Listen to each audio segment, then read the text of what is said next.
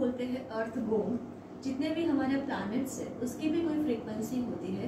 उसी तरीके से ये जो घूम है, उसकी फ्रीक्वेंसी जो है, वो अर्थ के साथ रेजोनेट होती है।